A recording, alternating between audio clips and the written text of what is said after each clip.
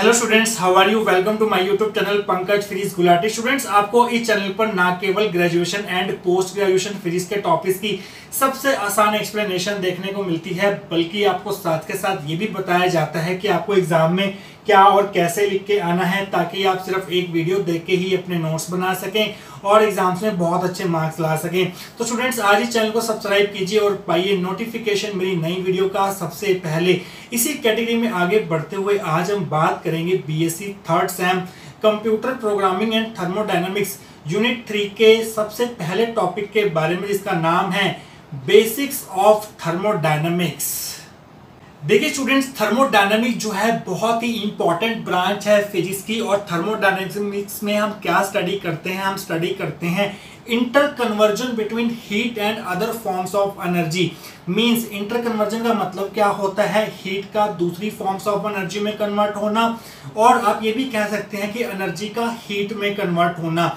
हम daily life पे example लेके समझते हैं, जब विंटर सीज़न होता है तो हम क्या करते हैं? अपने हाथों को रगड़ते हैं। अपने हाथों को रगड़ने का मतलब ये है कि we are doing some kind of mechanical work और वो मैकेनिकल वर्क जो है वो हीट एनर्जी में कन्वर्ट हो रहा है। हमारी बॉडी में एनर्जी होती है, जिसके द्वारा हम काम कर पाते हैं मैकेनिकल वर्क कर पाते हैं, हम साइकिल चला पाते हैं, हम डेली वर्क डेली दिनचर्या के जो काम होते हैं, वो कर पाते हैं, क्योंकि हमारे अंदर एनर्जी होती है, हम उसी से मैकेनिकल वर्क जो है, वो परफॉर्म करते हैं। दूसरी तरफ़ जो आपके कार इंजन होते हैं, बाइक इंजन होते हैं, वो इसका उल्टा काम करते हैं, वो क्या करते हैं, वो हीट को मैकेनिकल वर्क में कन्वर्ट करते हैं, जो काम हाथों से रगड़कर हाथों को रगड़कर हम कर रहे थे। हम मैकेनिकल वर्क से हीट जनरेट करवा रहे थे। जो इंजन होता है, ठीक इसका ऑपोजिट काम करता है। वो क्या करता है? वो हीट को मैकेनिकल वर्क में कन्वर्ट करता है। तो स्टूडेंट्स आइए देखते हैं कि सबसे पहले कि what do you understand by thermodynamics means thermodynamics की आखिरकार डेफिनेशन क्या है? तो आप हेडिंग बनाएँगे thermodynamics the branch of physics in which we study about heat and its inter conversion with other forms of energy thermodynamics physics की वो branch है जिसमें हम क्या स्टडी करते हैं? Heat and other forms of energies के बीच में जो इंटरकन्वर्जन होता है हीट का, दूसरी फॉर्म्स ऑफ़ एनर्जी में कन्वर्ट होना और एनर्जी का हीट में कन्वर्ट होना, यही दो चीज़ें जो हैं हम थर्मोडाइनमिक्स के अंदर स्टडी करते हैं। तो स्टूडेंट्स थर्मोडाइनमिक्स की डेफिनेशन पढ़ने के बाद हम कुछ और डेफिनेशन देखेंगे, जिन डेफिनेशन के पीछे जो कंसेप्ट है, अगर वो आप नहीं समझेंगे, तब तक आप थर्मोडायनेमिक्स में आगे नहीं बढ़ पाएँगे। तो सबसे पहली जो इंपॉर्टेंट डेफिनेशन आ रही है थर्मोडाइनमिक्स के अंदर, वो है सिस्टम तो स्टूडेंट्स आइए बात करते हैं कि what do you understand by system देखिए स्टूडेंट्स एनीथिंग अंडर ऑब्जर्वेशन और you can say anything under investigation is your system for example एक एग्ज़ाम्पल लेके कंसिडर करते हैं हम। मान लीजिए स्टूडेंट्स ये हमारी वाटर बॉटल है जिसपे पानी भरा हुआ है। इसको आप स्टडी करना चाहते हैं तो ये आपका सिस्टम बन जाएगा। कोई भी चीज़ जिसको आप सेलेक्ट कर लेते हैं स्टडी करने के लिए, वो आपका सिस्टम बन जाता है। यहाँ पर स्टडी करने का मतलब ये नहीं है कि हमें ये बताना है कि इस वाटर बॉटल का कलर क्या है, ये कौन से ब्रांड की है। यहाँ स्टडी का मतलब है थर्मोडाइनमिकल पॉइंट ऑफ़ व्यू से स्टडी करना। किसी चीज़ को अगर आप थर्मोडाइनमिकल पॉइंट ऑफ़ व्यू से स्टडी करोगे तो वो आपका सिस्टम बन जाएगा। तो स्टूडेंट्स आइए देखते हैं कि सिस्टम की डेफिनेशन क्या है। System the part of the universe which is under observation is called system universe का कोई भी पार्ट जिसको आप अंडर ऑब्जर्वेशन रखते हैं, जिसको आप थर्मोडाइनमिकल पॉइंट ऑफ़ व्यू से स्टडी करना चाहते हैं दैट इज़ कॉल्ड सिस्टम तो स्टूडेंट्स अगली जो डेफिनेशन है इंपॉर्टेंट थर्मोडाइनमिक्स के अंदर, वो है सराउंडिंग्स आइए देखते हैं सराउंडिंग से हमारा क्या मतलब है।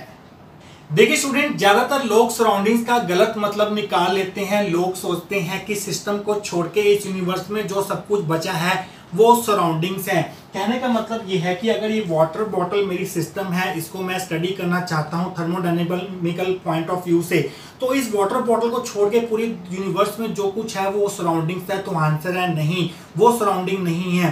सराउंडिंग यूनिवर्स की वो जगह है जो मेरे सिस्टम को, इस वाटर बॉटल को अफेक्ट कर सकती है इन्फ्लुएंस कर सकती है। इस सिस्टम के आसपास की वो जगह, इस वाटर बॉटल के आसपास की वो जगह, जो इस सिस्टम को इन्फ्लुएंस कर सकती है दैट इज़ कॉल्ड सराउंडिंग ये करेक्ट डेफिनेशन है सराउंडिंग की means part of the universe that can affect our system is called surroundings मान लीजिए इस वाटर बॉटल के अंदर ठंडा पानी है तो मैं नॉर्थ इंडिया में बैठा हूँ तो अगर साउथ इंडिया में ओले पड़ते हैं किसी भी शहर के अंदर तो उसका इस वाटर बॉटल के पानी के टेम्परेचर पर कोई इफ़ेक्ट नहीं पड़ेगा। हाँ अगर ये वाटर बॉटल यहाँ पड़ी है और इस शहर में ओले पड़ते हैं तो उस चीज़ का इफ़ेक्ट जो है इसके ऊपर ज़रूर पड़ेगा, क्योंकि इसका पानी जो है उस केस में ज़्यादा देर तक जो है वो ठंडा रहेगा तो वो इसकी सराउंडिंग्स बन जाएगा। तो स्टूडेंट्स आइए देखते हैं कि what is the correct definition of surroundings the part of the universe which can affect our system is known as surroundings universe का वो पार्ट जो हमारे सिस्टम को अफेक्ट कर सकता है सिस्टम को इन्फ्लुएंस कर सकता है, उसको हम बोलते हैं सराउंडिंग्स आइए स्टूडेंट्स बात करते हैं next important thermo definition in thermodynamics की, जिसको हम बोलते हैं बाउंड्री बाउंड्री का आखिरकार क्या मतलब होता है? तो स्टूडेंट्स बाउंड्री के मीनिंग को अंडरस्टैंड करने के लिए हम इस वाटर बॉटल का एग्ज़ाम्पल लेते हैं। ये हमारा सिस्टम है और इस सिस्टम के अंदर पानी भरा हुआ है और इस सिस्टम के जो आसपास की जगह है, वहाँ पर एयर है मीन्स एयर यहाँ पर सराउंडिंग है और वहाँ पर पानी कम है वाटर वेपर कम है।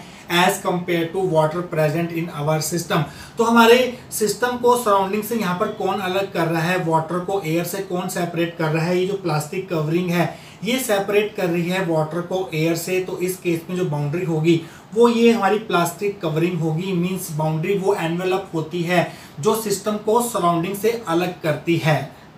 बाउंड्री को हम टू टाइप्स में क्लासिफाई कर सकते हैं। एक बाउंड्री ऐसी होती है जो एक्सचेंज ऑफ़ हीट को अलाउ करती है और ऐसी बाउंड्री को हम बोलते हैं डायाथर्मिक बाउंड्री और एक ऐसी बाउंड्री होती है जो एक्सचेंज ऑफ़ हीट को अलाउ नहीं करती। उस बाउंड्री को हम बोलते हैं एडियाबैटिक बाउंड्री इस केस में जो बाउंड्री है हमारी, वो डायाथर्मिक बाउंड्री है, क्योंकि अगर मैं इस वाटर बॉटल को दो घंटे के लिए ऐसे ही छोड़ दूँ तो इस वाटर बॉटल का टेम्परेचर जो है, वो हमारे आसपास के टेम्परेचर मींस रूम टेम्परेचर के बराबर हो जाएगा। मींस जो हीट है एयर की, वो इस बाउंड्री के थ्रू इस वाटर में जा रही है और इस वाटर के टेम्परेचर को बढ़ा रही है। और ये कब तक इसका टेम्परेचर बढ़ता रहेगा? जब तक वाटर का टेम्परेचर रूम टेम्परेचर के बराबर नहीं हो जाएगा। मीन्स इस केस में ये जो बाउंड्री है, ये एक्सचेंज ऑफ़ हीट को परमिट कर रही है अलाउ कर रही है तो उसको हम बोलेंगे डायाथर्मिक बाउंड्री एडियाबैटिक बाउंड्री का, को समझने के लिए हम दूसरा एग्जांपल समझते हैं. मेरे पास एक वाटर बॉटल और है, ये है वो वाटर बॉटल जो आप बहुत बार यूज़ करते हैं समर्स के अंदर पानी को ठंडा रखने के लिए. इसमें अगर आपने एक बार पानी भर दिया तो 12 से लेकर 15 घंटे तक इसमें पानी जो है वो ठंडा रहता है. मीन्स इस केस में जो इसकी कवरिंग है ये जो स्टील कवरिंग है, ये एक्सचेंज ऑफ़ हीट को अलाउ नहीं कर रही एक्सचेंज ऑफ़ हीट को परमिट नहीं कर रही। ना तो इसमें से हीट यहाँ से यहाँ जा सकती है सिस्टम सराउंडिंग में ना सराउंडिंग से सिस्टम में आ सकती है। तो स्टूडेंट्स इस प्रकार की बाउंड्री को हम बोलेंगे एडियाबैटिक बाउंड्री आइए देखते हैं डेफिनेशन क्या है बाउंड्री की, फिर हम बात करेंगे टाइप्स ऑफ़ बाउंड्री के बारे में। Boundary the envelope which separates our system from surroundings is called boundary तो बाउंड्री एक एनवेलप होता है जो सिस्टम और सराउंडिंग को सेपरेट करता है। इसके बाद हम डिस्कस करेंगे टाइप्स ऑफ़ बाउंड्री और उनकी definitions types of boundary boundary can be classified into two types boundary जो है वो दो प्रकार की होती है। Number one diathermic boundary the boundary which allows exchange of heat between system and surroundings is called diathermic boundary ऐसी boundary जो सिस्टम और सराउंडिंग के बीच में हीट एक्सचेंज को अलाउ करे, उसे हम बोलते हैं डायथर्मिक बाउंड्री और डायथर्मिक बाउंड्री का एग्जांपल मैंने आपको इसमें से दिया था। जो एयर की हीट है, वो इस वाटर में जा सकती है क्योंकि जो अंदर का टेम्परेचर है, वो कम है, बाहर का ज़्यादा है और ये टेम्परेचर का एक्सचेंज कब तक चलेगा? जब तक वाटर का टेम्परेचर रूम टेम्परेचर के बराबर ना हो जाए तो इस केस में जो बाउंड्री होगी, वो हमारी डायाथर्मिक बाउंड्री होगी। तो स्टूडेंट्स आइए बात करते हैं सेकेंड टाइप ऑफ़ बाउंड्री की, जो कि है adiabatic boundary the boundary which do not allow exchange of heat between system and surrounding is called adiabatic boundary ऐसी बाउंड्री जो सिस्टम और सराउंडिंग के बीच में हीट एक्सचेंज को अलाउ ना करे, उसे हम बोलते हैं एडियाबैटिक बाउंड्री जैसे मैंने आपको इस बॉटल का एग्ज़ाम्पल दिया था, इसमें पानी जो है काफ़ी देर तक ठंडा रहता है। काफ़ी देर तक जो हमारा सिस्टम और सराउंडिंग के बीच में कोई भी हीट जो है वो एक्सचेंज नहीं होता। तो स्टूडेंट्स ये होती है हमारी एडियाबैटिक बाउंड्री तो स्टूडेंट्स आज इस वीडियो के अंदर हम इतना ही डिस्कस करते हैं। आज हमने पढ़ा थर्मोडायनेमिक्स क्या होती है सिस्टम क्या होता है सराउंडिंग क्या होती है बाउंड्री और उसके डिफरेंट टाइप्स तो स्टूडेंट्स ये था हमारा basics of thermodynamics part one जो हमारा अगला वीडियो होगा थर्मोडायनेमिक्स बेसिस के ऊपर, उसमें हम डिफरेंट टाइप्स ऑफ़ सिस्टम जो होते हैं थर्मोडाइनमिक्स के अंदर, उसको स्टडी करेंगे। तो स्टूडेंट्स आई होप आपको आज का टॉपिक जो है वो अच्छे समझ आया होगा। मिलेंगे next important topic of thermodynamics के साथ। Till then thank you so much